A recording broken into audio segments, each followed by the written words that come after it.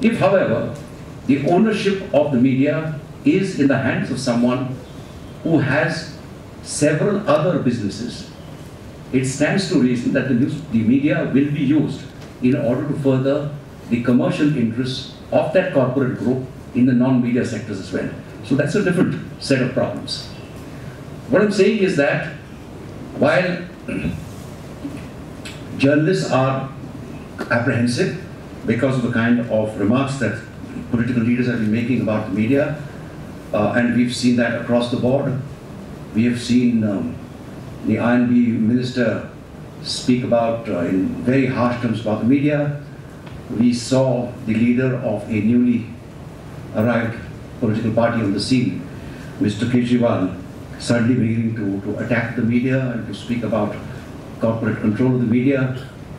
When some of us asked him, saying that, how is it that when media went gaga about your rise, you never thought of questioning the media's ownership, but why do you so now? And of course, there is no, no immediate answer.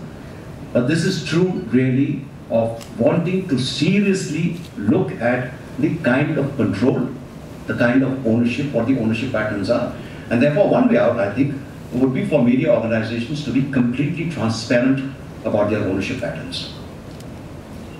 I think it's important that we know who exactly owns the, the means of production, to speak, of the media. And this could help us understand the kind of constraints, the kinds of challenges the journalists working in these organizations, uh, they face. But on the other hand,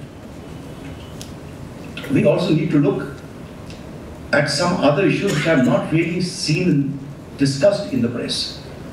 The kind of laws that govern media functioning date from the middle of the 19th century. There are at least four such laws. And we're fortunate to have Advocate Nigam with us, who I hope will tell us a little bit more. But there are a certain number of laws which continue to, to the, one of them has been amended in 1957, but that amendment really amounts to nothing because those four laws are hampering us. India is the one country where the constitution does not guarantee the freedom of the press. Freedom of expression comes under Article 19 and uh, as with everything else, Article 19 itself is subjected to a certain number of restrictions. But otherwise, unlike the American Constitution, which has the, the amendment protecting or guaranteeing the freedom of press, we don't have that. Whether we should have it or not is a separate question, but I think we need to take a look at a whole bundle of arcane laws, and those laws have to be amended, etc. Finally comes the question of journalists themselves, and I'm going to, to really stop here. Journalists themselves, unlike us, we had no journalism schools when we started.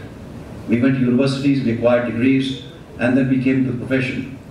Um, I, I, began my career in, in a Pune newspaper called the Pune Herald when I was 16 years old. I was the youngest member of the staff, and I was very handsomely paid then, 50 rupees a month. And that took care of all my, all my needs.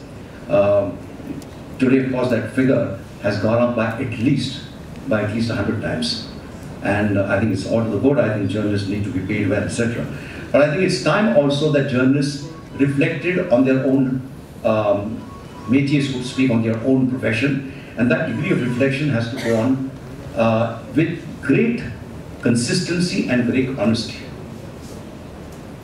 Very often we are told that the, the reporting itself is factually incorrect, incomplete, or biased.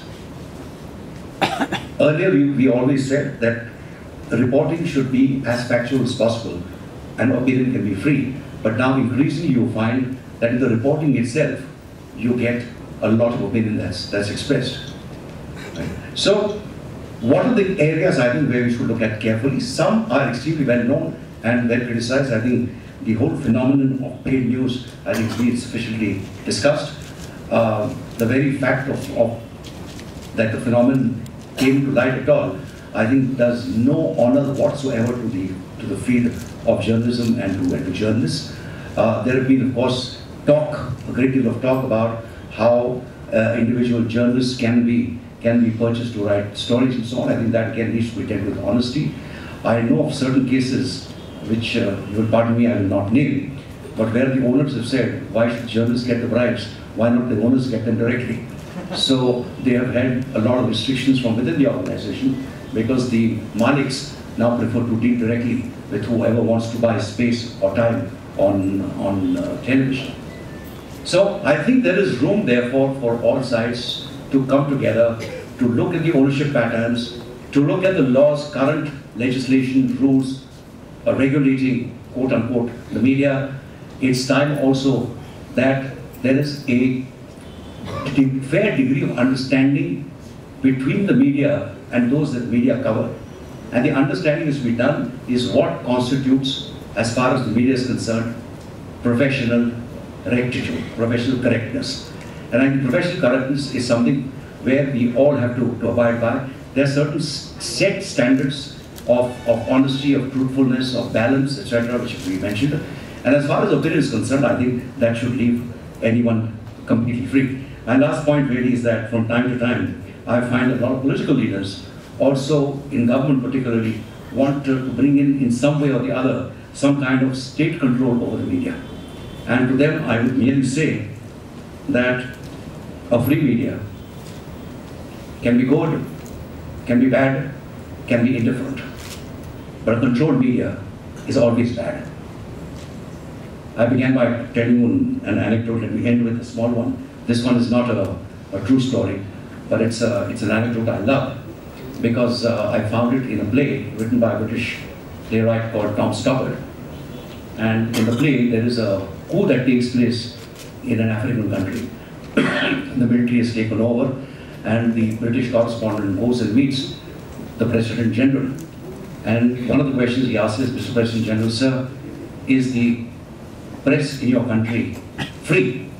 And the President General thinks for a moment and says, well, the press in my country is relatively free. That is to say, it is owned by my relatives. Thank you very much.